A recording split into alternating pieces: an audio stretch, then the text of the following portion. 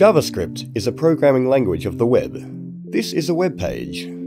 Usually a page is composed of HTML code and a CSS code.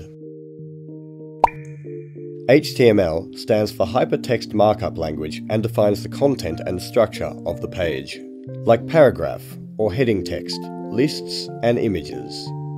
CSS stands for Cascading Style Sheets and it applies styles to the page content. This includes colour, heading styles, and the composition of the content. With HTML and CSS alone, the page cannot be dynamic or interactive. This is why we use JavaScript. JavaScript is referred to as client-side scripting language.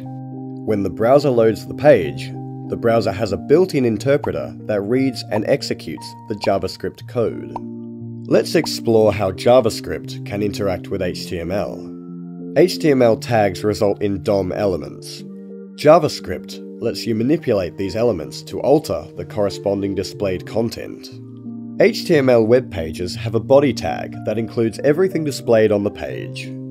Setting the font style of the body would change the font for all text on the page.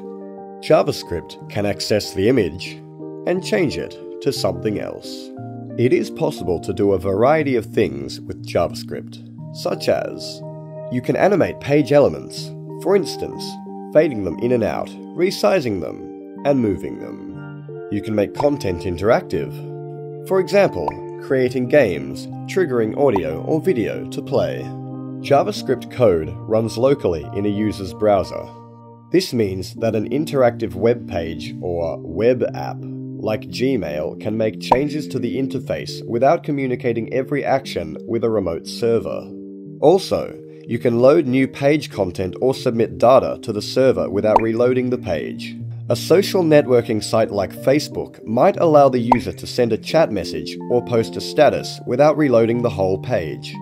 JavaScript can be used to validate input values of a web form, such as an email address, to make sure they are acceptable prior to them being submitted to the server. It can also transmit information about the user's reading habits and browsing activities to various websites.